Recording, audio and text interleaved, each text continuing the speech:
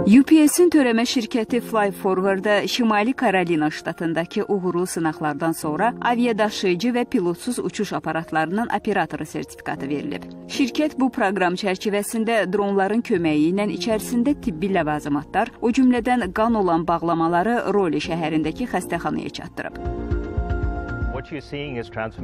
Bu sertifikat UPS şirkətinə birbaşa görünməyən dronları idarə etməyə də imkan verəcək.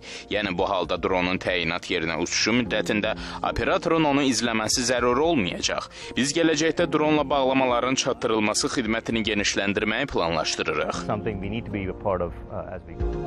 Sertifikat çəkisi 25 kiloqramdan çox olmayan pilotsuz aparatlara və gecə vaxtı uçan dronlardan qeyri-məhdud sayda istifadəyə icazə verir. Xatırladaq ki, United Parcel Service əvvəlcə dronlardan məhz tibbi materialların daşınması üçün istifadə edib. Bu dronların ilk mərhələdə tibbi sahədə, daha sonra isə sənaye sektorunda tətbiq olunması planlaşdırılır.